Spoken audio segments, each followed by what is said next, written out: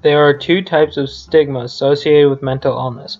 The first, social stigma, is defined as prejudicial attitudes and discriminating behavior commonly fixated towards persons with mental health issues, while self-stigma is the internalization of perception of discrimination, and this can vastly affect one's feelings and can lead to worse treatment outcomes.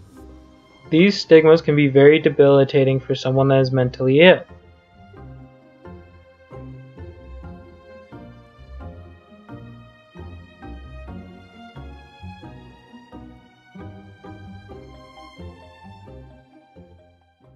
What would you do if your house was on fire? You'd probably call 911. But what if calling the fire department wasn't cool?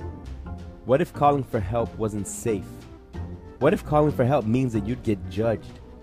For people with mental health challenges, that's exactly what it's like. And this is because of stigma. We end up having to have secret identities, keeping our pain to ourselves, because we feel like asking for help will put us at risk.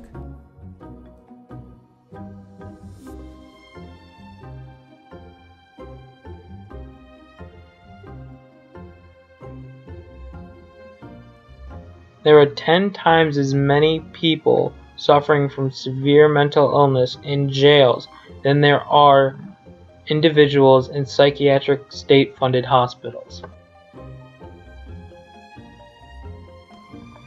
According to a Times Magazine article, there is a deficit of 12,500 psychiatric doctors that specialize in adolescents, thus causing families to then have to travel far distances to seek treatment for their children who